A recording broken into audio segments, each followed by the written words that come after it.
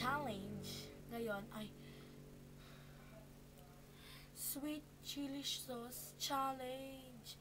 Nakakadiri daw po ito guys. Kasi napanood ko lang po ito sa pinsan ko na ginawa niya ang sweet chili sauce nang walang premyo.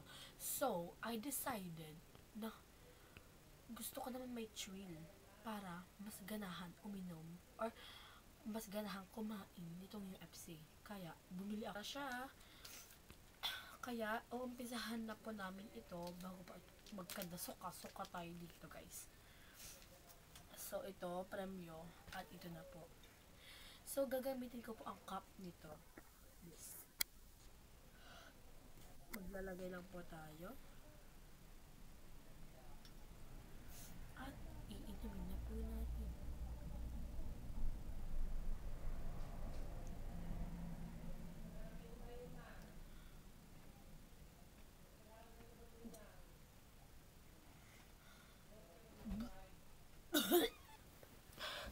Guys, nakakasuka siya guys. So, hindi ko po nagawa ang challenge kasi nakakasuka talaga siya. Yung parang may sipon dito at saka dinidilaan mo yung bakal na may kalawang. Parang ganun po yung lasa kaya hindi ko po nagawa. Po, at kung tuwa ka sa video ito, don't forget to subscribe, i-like, and i-share ang video ito. Bye-bye!